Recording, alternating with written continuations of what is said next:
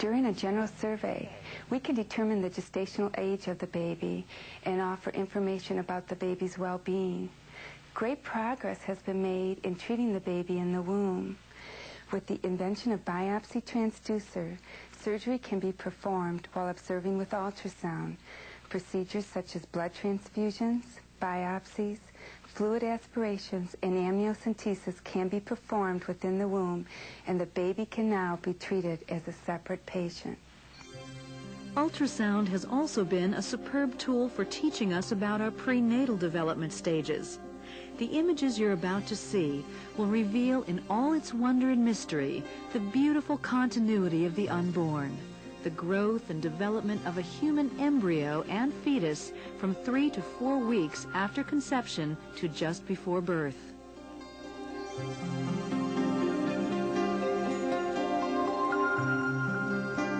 The birth of a human life occurs at the moment of conception when the mother's egg or ovum is fertilized by one of the father's sperm. During this act of conception, the two cells become a single living cell, a unique individual who never existed before in history and will never be duplicated again. You were so small that the naked eye could not see you. During ovulation, when the mother's egg is mature, it is released from the ovary to await fertilization. As over 200 million sperm enter the cervix, they begin their search for the egg.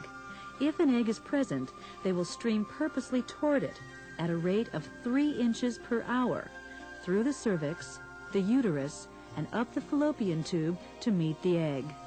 Only one of the 200 million sperm engaged in this race will unite with the egg, and you won the race. The chance of you being born is one in 200 million. See what a miracle you are? You are a unique and very special person. In the next few days, the fertilized egg divides into many cells and begins to travel down the fallopian tube and enters into the well-prepared endometrial lining of the uterus. This ball of life will grow at a rapid rate to become an embryo, the next stage of development.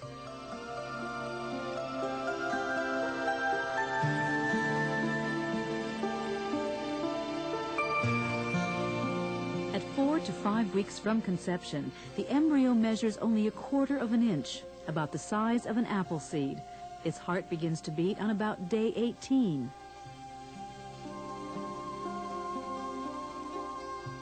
This is an image of just four weeks. Can you see the heart beating?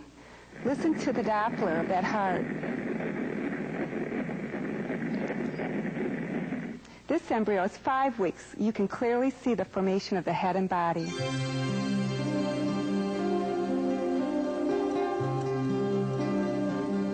As the embryo reaches the second month, it will measure approximately one-third of an inch. The dark circles of the eyes are the retina and can be clearly seen. The beginning stumps of the arms and legs are beginning to grow. The embryo floats freely in the amniotic fluid, which will cushion and protect the baby for the nine months he will spend in his mother's womb. Now this is a seven-week baby. I'm going to magnify this image, and now you can clearly identify the arms and the legs and the head. Watch him. Watch me as he moves.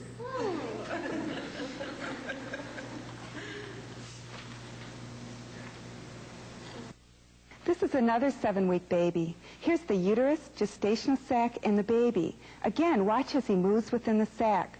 Seven weeks is the time that we first visualize movement. Here's the yolk sac, which will supply the nutrition for the baby until the placenta can take over.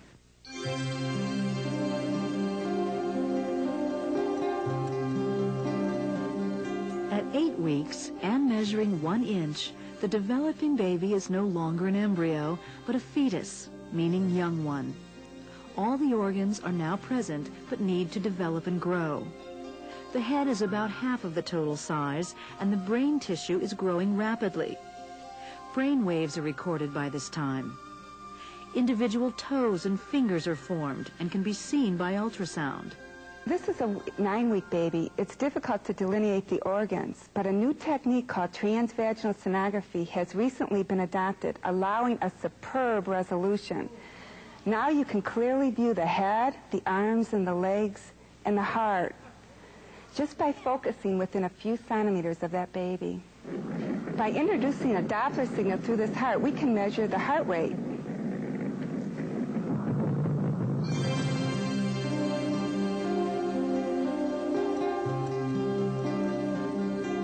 At 9 to 10 weeks, the fetus is two and a half inches long and floats in the amniotic sac, which by now has filled the whole uterus. Vigorous activity can be seen as the baby kicks, jumps, turns somersaults, grasps with fingers, opens his mouth and sucks his thumb. Bones, muscle, and the nervous system continue to develop. The baby has begun to breathe the amniotic fluid, but does not drown because it gets oxygen from the umbilical cord. This is a 10-week baby, and he's now able to move vigorously within the womb. There he jumps, just waved at you. Now he's going to do a jump for you. There he goes. he's able to utilize the whole uterine cavity now because he's got all the space to move. Here he's going to get ready for another jump. There he goes. Now he's turning and looking at us. You can see his eyes. Here he does a few more jumps the mother, he would not hold still for 30 minutes, and his mother was really impressed to see what he could do. Now he's going to do a few more jumps, turn on the stomach there, I think. Let's see, yeah, there he goes. They're real active at this time. This is my favorite time to do an ultrasound.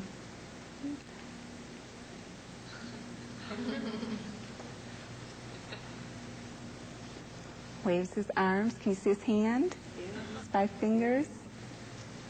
Now this is another baby that's 10 weeks old. And this baby's laying on his stomach, and this is the head and the body in the back. Now he's going to turn and look at us. Turn over on his side. There he goes. And now he's laying on his back.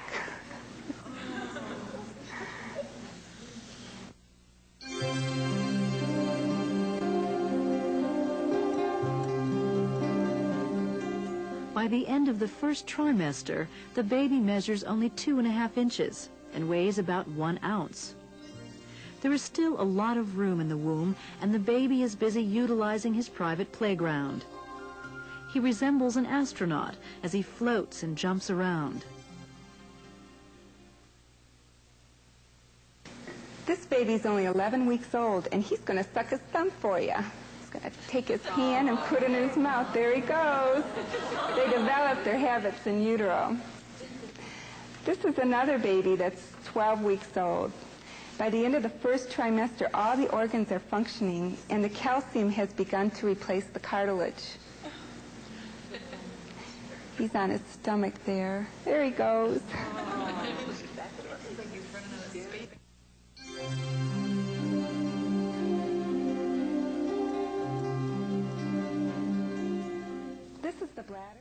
Okay, thank you. Well, um, boy, there was a lot there in that first trimester. Um, what, what initial impressions did you have, or do others have, when they first view this film? Well, actually, I think the film speaks for itself. You could see from the expressions of the young people in that audience that this is something absolutely awesome. You know, how we really start from something incredibly small, no bigger than a pencil dot, and, and within, it's almost just this explosion of life, you know, within those first few weeks. Um, the vast majority of young people to whom I show this, they, they just cannot, they just can't believe it. They just can't take it in. It's a miracle. It's a miracle of nature, if you want to think of a natural um, kind of miracle. That's the response I get from most young people. I, I think see. that's the response from most women who have an ultrasound in the doctor's office. I had the experience of going with uh,